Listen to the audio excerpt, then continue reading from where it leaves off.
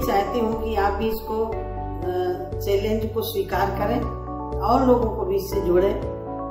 और इस स्वच्छता पखवाड़े को हम सफल बनाएँ।